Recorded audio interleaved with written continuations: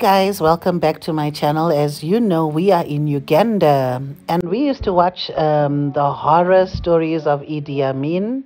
And little did we know that one day we are going to take a tour of his torture chambers and their kingdom. But before we go there, this is what I'm having for lunch. I'm having posho with kebabs, beef kebabs and gravy, and my husband's having sukuma wiki with posho. Really delicious. We really enjoyed the meal, and now we are getting ready to head off to the palace and um, just go and learn a little bit about the history of Uganda. So stay tuned.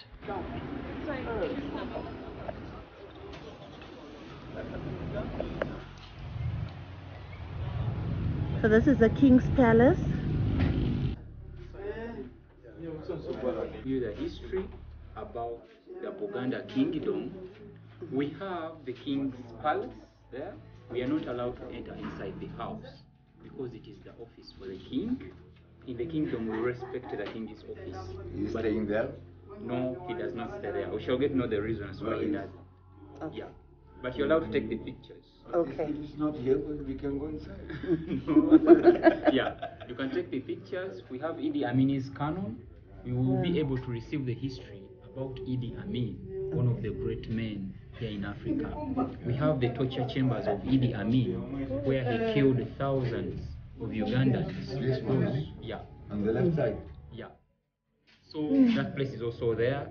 Uh, we have a mini barkcloth workshop. Shall be narrate how the barkcloth is manufactured. We see? Okay. This is the First king. Yes. Yeah, what is just the second? This is the second king, right? The first is here. Ah, yeah. the first. So these are all the First one, Mwanga. These are the second. Oh, you can see the, the, the list of queen. This was queen, eh? Yeah, queen. The mother, Queen Mother Elizabeth.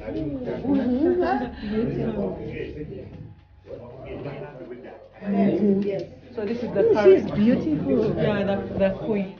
Wow. This is the king, the current king. The current king and the current queen. Yeah. Ah, the very.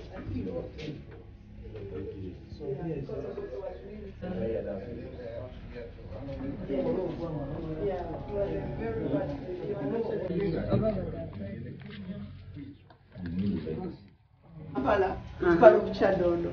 So the names that are given here are part of the, the historical names in terms of the Uganda names. Okay. Then we have the Ugandan names. Uh-huh. I think it's the right one.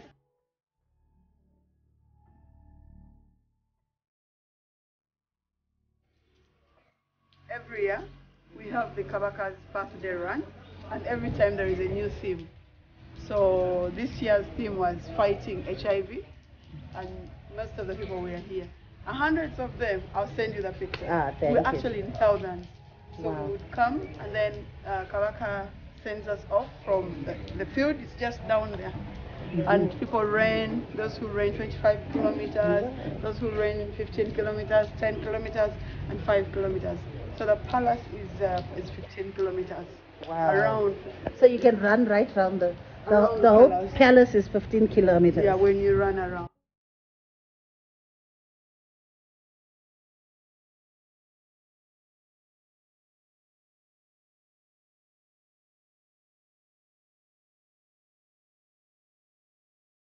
So most welcome once again. Thank you. So right now we are in a palace called the Mengo Palace. Not Mango. Mango. It's called the Mengo Palace. Okay. Because uh, a mango is a fruit, then a mango, those are, those are now the grinding stones that our ancestors used in terms of grinding millet, in terms of grinding the local herbs they used to have long ago.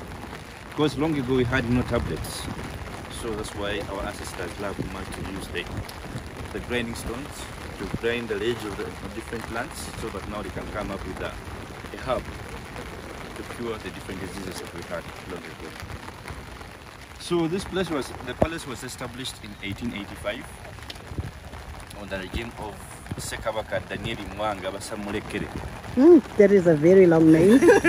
Can you please repeat that name? So it was called Sekabaka Danieli Mwanga II. So he established this palace in 1885. So this palace, it was just on a, it's long ago it used to be a forest. The way how Kampala is. So Kampala, the way how you see it, it's not the way how it was long ago. So the name Kampala, it came from the impalas. So the, was, So Kampala came from Impala. the Impala. Okay. So Mwanga loved much to hunt. So his palace was in Munyonyo, but he used to come on these hills to mainly hunt the impalas. So that's what they used to say, the hills of the impalas. But we saw Okay. So that's the name of the name of Kampala city, the mm-hmm. capital city of Uganda. So it was just a forest. So he had now to establish his palace here, mainly because it, he really saw it like a, a fruitful position for him to establish his palace here. So that's why he had to do this. So the palace is seated on 200 acres. wow. That is 200 the total acres. Mm-hmm. size of it. Because the whole fence, it covers 6.5 kilometers round. Mm-hmm. That's the entire palace. So we have schools, we have playgrounds, we have expo grounds. We used to also have rally grounds for the motocross, the rally cars, but we, we, are, we are not having them anymore because accidents really happen and the palace, there's no way how we can shed blood in the palace. Mm-hmm. That's the main reason as to why the king's not sleeping here. Okay. Culturally, traditionally in Uganda, the king is not allowed to sleep in a place where was bloodshed or massacre of people. So in 1966, this palace was attacked Hmm. by Idi Amin Dada and Obote. Obote was not a Muganda, Idi Amin was not a Muganda. So those two people were coming from northern part. Obote was Ilangi, Idi Amin Dada was Ekakwa. So Idi Amin was just the chief command of the army. Obote was the prime minister, the one who fought for Uganda's independence in 1963 on 9th October. So Uga- Buganda Kingdom, it was the first to exist before Uganda. Because even the name Uganda, it came from Buganda. So the way how the British used to pronounce Buganda, the P tried to be difficult for them to pronounce out. So they used to say Uganda. That's why the nation was given the name Uganda. Uh-huh. But Uganda, in the whole of Uganda, we have many, we have five kingdoms. So those kingdoms, so they really loved much to exist. They mm. existed. But Buganda, it existed, but for it, it was more cultural and more organized. So that's why when the British came into Uganda, they loved much to settle in Buganda, mainly because they had a system of governance. That was the clan system. Because at first we started with five clans, but to date we have 56 clans. So my clan is a buffalo because of the name Bugembe, Bugembe. Bugembe Michael. So our duty in the palace or in the kingdom is to lift the king on the what? On the shoulders. Because long ago there were no Uh-huh. cars, there were no vehicles. So we used now to move our king from point A to point B with the use of the shoulders. So I'm not allowed to eat a buffalo meat. Uh-huh. I'm not allowed to marry a woman from a buffalo clan. You can marry each other. Yes. Because Interesting. when I marry a woman from a buffalo clan, I will be like marrying my own sister. Mm-hmm. So my mother, she's coming from the antelope clan. So which means I can't marry a woman from the antelope clan. I will be like marrying my mother. Whew. Okay. Very interesting. So you can have a photo with the house. So Okay. the royal house. It is called Twekobe. It was constructed long ago on the regime of King David Chwa. The one who became a king when he was just one year and eight months. uh-huh. One who- year, eight months. Yes, the one who introduced many good things for Buganda Kingdom. The one who brought football in Uganda. The one who introduced football. That's why you have the clan tournament and the county tournaments. So the one who introduced the girl child education system in Uganda. Mm-hmm. The also the one and only, the one who introduced the culture of now accepting ladies to eat the chicken and eggs. Women weren't allowed to eat We're chicken and eggs. eat the chicken and eggs. Why? Because the chicken in our introduction ceremony, it's part of the dowry thing. Dowry. Uh-huh. So when Okay. you eat the chicken, which means you are now reducing the chances of your brother to get a beautiful girl to marry. Okay. Because you have already eaten the chicken. Very the interesting. item that brother is going to take from the family. Uh-huh. Hey, So this house is normally today being used as an official office okay. for the king. So he normally comes here to attend to the chiefs of Uganda, attending to different ceremonies and occasions of Uganda. Then afterwards, it's now being driven back to his palace in Banda, Kireka, that side. That's along Jinja Road. That's where he sleeps. But here he doesn't sleep here, mainly because of the 1966 war. That is Uh-huh. Idi Amin and Obote. So this war was the, the, the palace was captured. Mutesa II was overthrown from power. He went out of Uganda. He went to London. Obote took, Obote took over power as the second president. So when Okay. he took over power as the second president, he turned this place from a palace into a military base. Hmm. That's why you saw a gun outside. Yes. It is representing something. So when this place was turned to be a military base, so which means all the royal houses, because long ago they used to, they used to stay in those traditional houses, so they were now destroyed and damaged. That's why mm-hmm. they're not existing here. Mm-hmm. So they also had to construct those military offices, the houses that you see around. Hmm. Those are now military offices for the Uganda. So in 1967, Obote declared Uganda as a republic. So which means he had now abolished the royal monarch system that used to exist. That's why in 1993, that's when our king was restored back. So we are happy and now we are being given back the palace to us as a Buganda king. So let's head down. Seeing a lion sculpture at the entrance here. Uh-huh. So he's a lion. He's a lion.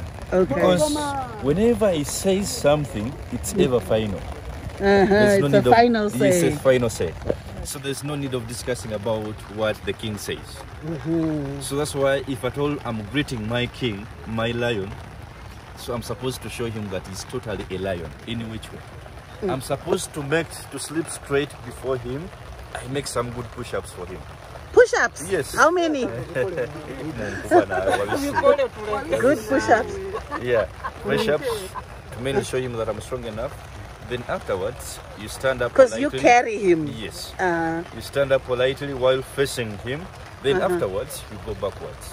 You are not allowed to turn this back Uh-huh. at him. It's like you accidentally meet a lion in the jungle. um, you There don't, no you walk backward. You turn the back at the Yes. because you don't know its plans. Yes. So with that, you need to turn the back after seeing that the king is not seeing you. Mm-hmm. Because long ago the kings used to have spears. Yes. Whenever you could now backside him, you had chances on now being speared. To receive your spear. yes. So Okay. the women, uh, the moment you step, you, you, you, you make a foot into Buganda, you be qualified to become a wife to the king. watch out, watch out.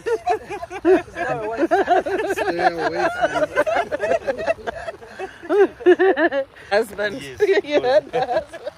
So in Buganda we also have a special road, Okay. a mile, a road. It is called Kabaka Njaga Road or the King mm-hmm. Lasumi Road. A Okay. straight road. This Okay. Straight road here. This road that we see. So it links the palace to the parliament of Uganda. Oh, there's the parliament. That's the parliament of Uganda, the first parliament that Uganda has ever had. Wow. It was constructed in 1953, 1955. Yeah. So on this road, you have two roundabouts. Uh-huh. So when the king is from his palace heading to the parliament, he's supposed to be driven straight. So Mm-hmm. these four stones that you see here, they're supposed to be removed when the king is moving straight. Okay, so you just So move the queen straight. of Uganda, she can have that chance. Uh-huh. Just in the same convoy with the king or in the same car with the king. Uh-huh. But when she's just alone with her convoy, she can't move straight. She has to go how the round. king is supposed to be moved. It's because for her she has a little seat. Mm-hmm. So on the same road we also have sculptures of different different clans that we have in Uganda. It's because some clans are animals, some are plants, some are Yeah. birds. But if, like if at all I find someone hunting a buffalo, I'm supposed to hunt that person again. Oh, I'm So supposed you have to I'm hunt? supposed to protect my clan. uh-huh. So when I when I'm if those people coming from a, uh, like uh, another clan, like uh, maybe a fish clan, they're not supposed to eat that fish. Mm-hmm. Yeah, that's the way how we are now preserving the nature Okay. in So it became a military base at one stage. That's why there's these guns. Yeah. Okay. So these candles here are mainly depicting uh, two things. This place was also mentally based, and the second thing, uh, Idi Amin, that uh, the time when he became a president in 1971, because in 1971, Dr. Milton Obote, the one who was the president, he received an invitation calling him to go to Singapore to attend to the Commonwealth meeting. So before him leaving, he had now to leave all the powers in the hands of Idi Amin Dada, his second man in command, under a verbal agreement. He told Amin, I'm leaving with all my powers, but when I come back from Singapore to Uganda, you have to give me back my powers. So Amin was like, you, you trust me, I trust you. So which means when you come back from Singapore to Uganda, I will just need to give you back your what? Your powers. So with all that statement, it really made Obote to go to Singapore, leaving the powers in the hands of Idi Amin. So when Obote reached in Singapore, he made an alarm to his friend. You know, my friend, I have reached safely in Singapore. Mm-hmm. Take care of my people, but remember what we agreed upon. Yes. So Amin was like, for the few days and hours I've been the president of Uganda, I have totally enjoyed. so which means Okay, it's better for you to stay in Singapore because for you you love much to go to Singapore. And me, I take over Of here. course. You are no more a president, I'm Eh, now the president of Uganda. So that's the way how Idi Amin Dada took over power. Mm-hmm. He never fought. So he took over power in that easy way. And the, the so, guy in so Singapore that, didn't fight. Idi Amin Dada became a president, a third president of Uganda. So the Islamic states nearby, when they heard that, they became too happy Okay. because Amin was a Muslim. Uh-huh. So when Gaddafi heard that, Gaddafi had an interest of now coming to Uganda. So he had now to use utilize that chance. With which way? He had now to grant gifts to mm-hmm. his fellow Muslim, the guns, Uh-huh. to mainly help him to secure the territories of Uganda from mm-hmm. the would-be enemies mm-hmm. that Amin can now have. That's why he gave him the guns. So Idi Amin Dada had now to keep these guns in this palace, in the military palace, the military base. So the guns were now scattered around because were not, not all that being kept in one place. Mm-hmm. So he had now to call for great architects who had now come in, help him construct an armory where he can keep these army weapons safely. Mm-hmm. So that's why he had now to call upon the Israels. Okay. So they came in to help him construct something great and strong, so that now he can keep in the what? The army weapons. So they came in, they constructed that armory for mm-hmm. just one year, and after the construction, Idi Amin was just in his state house in Entebbe, because he loved much to stay in Entebbe. Mm-hmm. So the chief engineer had now to approach him, uh, claiming that he was now collecting his money from mm-hmm. Idi Amin. Amin was like, I think, and I remember, it's me who brought a plan to you and a deal. Mm-hmm. So which means it's me who's supposed to bring the payment to you, not you to demand the president of Uganda. Hey. How can you demand the president of Uganda? So with that, he expelled them away from Uganda, even without beginning, giving them a A single dollar. penny, a single dollar.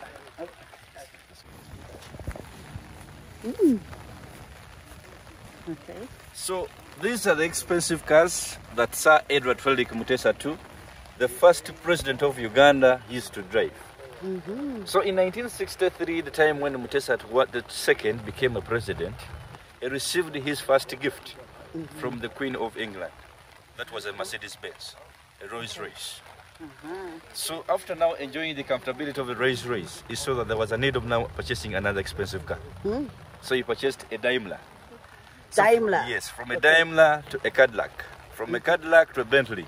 Mm-hmm. Those were now the expensive cars that Mutesa II used to drive. So Obote, after taking over power, he really saw that there was a need of now destroying these expensive cars for Obote, mm. for Mutesa II. So he was like now demolishing or vandalizing the legacy for Mutesa II. Mm. So he wanted, he never wanted to see these cars anymore. So that's why they were now vandalized and destroyed. So that Daimler car, it was buried underground. For us, we got it underground Wow. because we were not there at the time when they, they were fighting. Mhm. So we got it underground, these cars. They're just in car parts, but we're now planning to put a glass to protect them well Yes. in a time from now. But this year, we managed now to make one car. It was race race, Mhm. so we maintained it. It's now in good condition. So the king is now using it in his palace Ah, in Banda, wonderful. the race race. So we managed to give him to give it back to him like a birthday present to him. But it was a car that his father used to use in those times.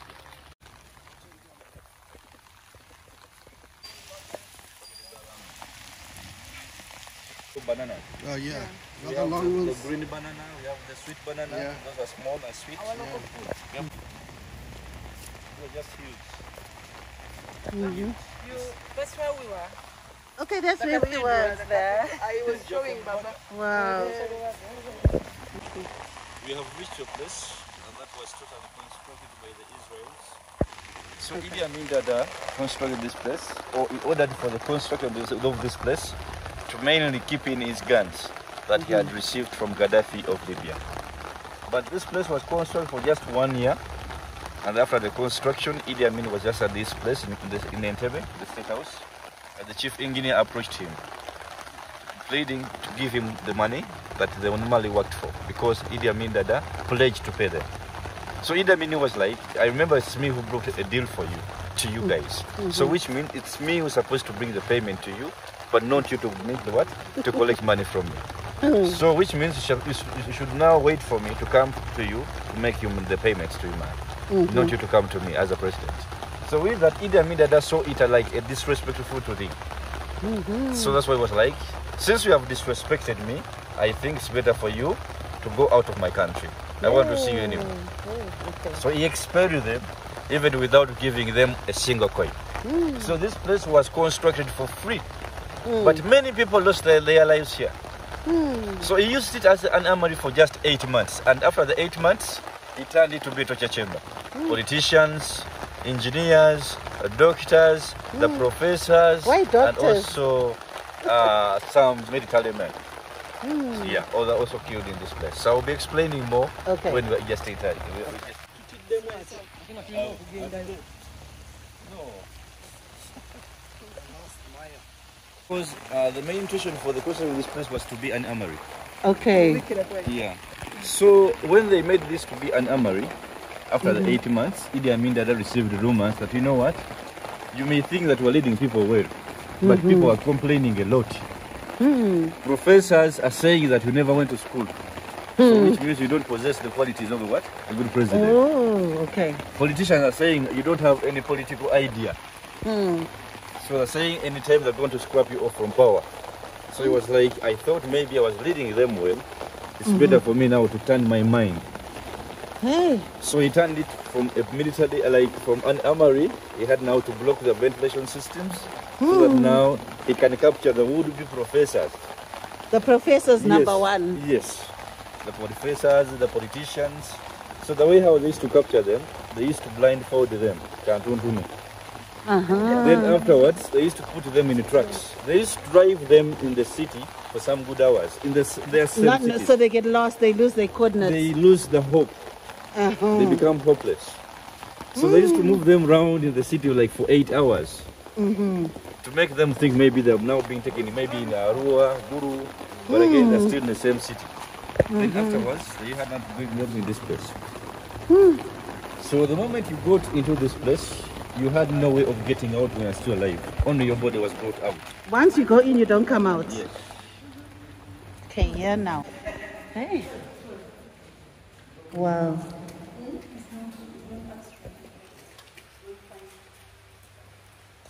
So these are the rooms. Five. Very dark. They used to put in like 50 prisoners. 15. 50. 50.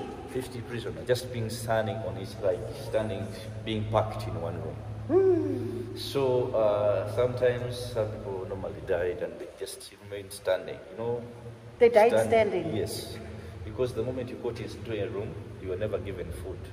Hmm. You were never given food and water so the oxygen was not enough for you. Hmm. So you had to die of suffocation and also those two impacts. So, yes. So, because at the entrance, there used to exist two metallic doors at the entrance. So there was a sliding door at the entrance at first. So there was also another metallic door inside. So which means you had no way of now escaping away from this place. Hmm.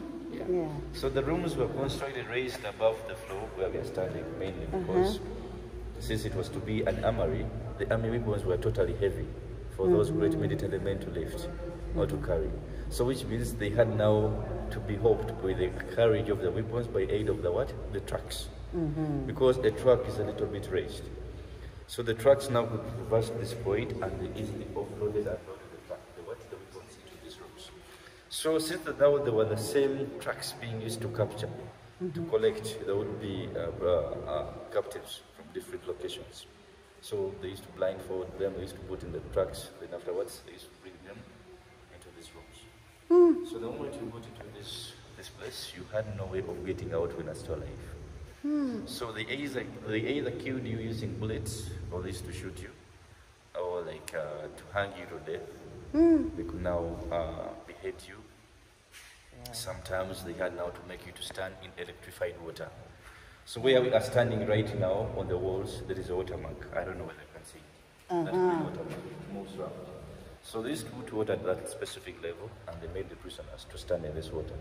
For them, they yes, for them they thought maybe they're now being given a second chance to life, mm-hmm. because they made them to come from a room that had that were, had no water, that had no food, now to come into water, N- not thinking that they made them to stand in this water, expecting for them to insert an electric cable in the what in this water. So because of entrance there, there's that uh, electric cable that was, was cut. It used to be long, it used to touch the ground. Was the same cable that was used to insert into being inserted, inserted into this water, and whoever was in water had now to be electrocuted. In that sense. So the estimated number for those Ugandans who are believed to have lost their lives here, it is 100,000 Ugandans. My goodness. But those people were only men. No women, no kids, but mm-hmm. only men. Mm. So those bodies of those people, at first they used to bury them underground. Mm-hmm. But they came to know that burying them underground, it was something tiresome for them. You know, and digging underground, then you bury them, it was a tiresome work for them. So that's why they had now to resort now by down to dump them into the water bodies and also in the forests. Mm-hmm. That's why you're not seeing any skulls, any bones here, mm-hmm. because of that. Okay. So in the last room, that's where they used to put lot of the bodies. In the last room. Yes, like uh, chariot. Hmm. Hmm. And this happened in a space of what time? How long did this happen for? So this happened for like roughly like for se- for uh, seven years. For Guys, can you see? But we see that after, or even after the time when Idi Amin was overthrown, because Idi Amin was overthrown in from in 1979. So Obote, the one with that, the one he betrayed, the one who had gone to Singapore, he was in Singapore and he received uh, a military support, a call from Julius Nyerere of Tanganyika. By then, because of Idi Amin Dada, uh, Idi Amin Dada at first, he loved much to make Uganda to, uh, to have a map in a box, like a box format. Not to have these curves, the way how Uganda Yes, is. yes. It was like, I want it to be in a A square box, format. he was very Yes. so with that, Julius Nyerere was like, if at all I allow this president to have come up with a box map of Uganda, it means I would be losing my country to his hands.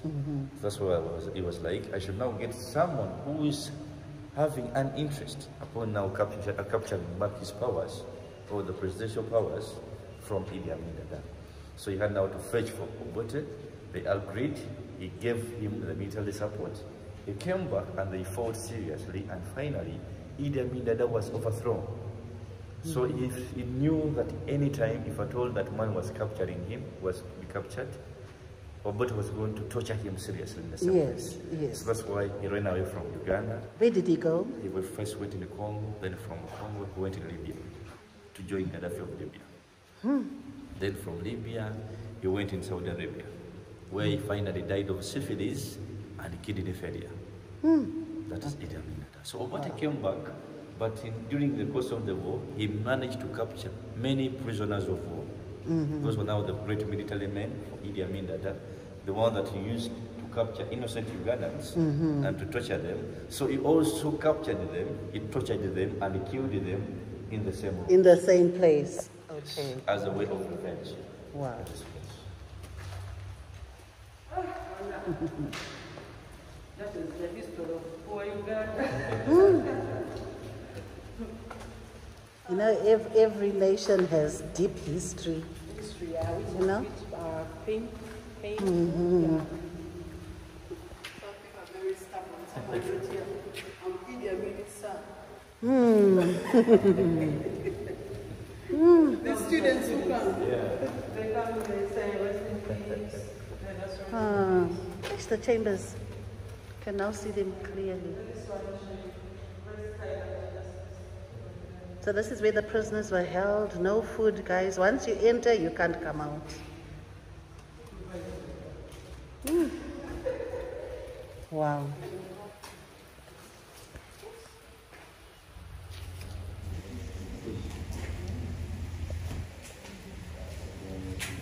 Okay, so As if you are going, you talk to them. Yes. Mazigana, uja- uganda wapita wote ugeragere. Ah, the wadi. Uganda, Wow. Oh, sorry, sorry. Okay. Beautiful patchworks. if my husband was around, the two of them would be inseparable. Before the introduction of cotton, so our ancestors Mango, they used to dress uh, culturally and uh, putting on animal skins because they were they are considered to be great, hunters long ago. So after hunting, we used now to, uh, to make the skins to be dried a little bit so that now they can wrap something around to the for the pots. And after all, they came to know that they had now a tree that had a soft bark. So that's what they had now to scrap out the bark of the tree. Then they started now to pound it using these tools. This tool, it's called the wooden mallet. Mm-hmm. They- They are totally different because of the different structure that they have.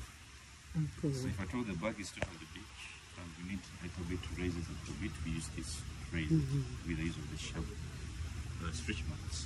So if at all we do want to the soft, stretch a little bit. So the way you're supposed to pound it, you're supposed to pound in this way. You're supposed to pound in this way. But for this, it's already dry. It's not wet. Okay. So if at all it was wet enough, it would have stretched a little mm-hmm. bit. But it's not going to stretch anymore because it's already dry. In that perspective. What is this, papyrus? No, Does look like papyrus. it looks to be, but it's not. It's just the back of it. It's leather. It's not leather. Our traditional cloth. The other tree that we see That tree here, out here. Yes. Mm-hmm. We just remove the bark of the tree. the one which is pound it. growing. Yeah. Yes. So you may, when you're just, uh, you can, when you observe it, you may think maybe it's leather, but it's not leather. You can touch and feel it. It's not leather. How? This is our, our traditional tradition, like the, the culture, Couch culture of wear. the culture wear in Uganda. So how do you get it to be like this? They pound That's it. the pound. He was I showing. was trying to- Want him to show you? You pound a lot. That's what can let the world know our traditional culture cloth outside the world. Thank So with the idea of now painting or coming up with these paintings. So we mainly painted uh, our uh, traditional ways on livings in the community and also the plants that we have in Uganda. Plus also other animals that we have in Uganda in all the tourism sites. Okay. yeah, um, national parks. So the paintings uh, are there for sale, and the mm-hmm. prices are totally negotiable and friendly. Mm-hmm. So it's not a supermarket, because in the mm-hmm. supermarket you don't need, you, there is no need of negotiating. Okay. But here I will be giving a good price if I tell you have any art piece here. So we never pay, we never framed them mainly. We would want it now to ease the way we can take them back to maybe to Zimbabwe, because when we frame, it becomes totally heavy for you to take. Yes, Yeah, but when it's not framed, we just need to roll it. We, pack, we mm-hmm. pack it for you. Reaching back in Zimbabwe, you need mm-hmm. to turn at the back of it, then you iron it. It becomes totally flat the way how it is before. Yeah. Okay. So that now you can frame it when you reach Wow. in Zimbabwe. Something that you can take from Buganda Kingdom that can make mm-hmm. you remember the whole of Buganda. Do you want a bit? So if at all you see any interesting art piece, How much are the smolts? which one? This is the Kabaka's Road, guys. Can you see it goes straight there to the It's called uh, Kabakanjagala Road. Kabakanjagala Road. See the picture? Wow. Don't take my legs. Climb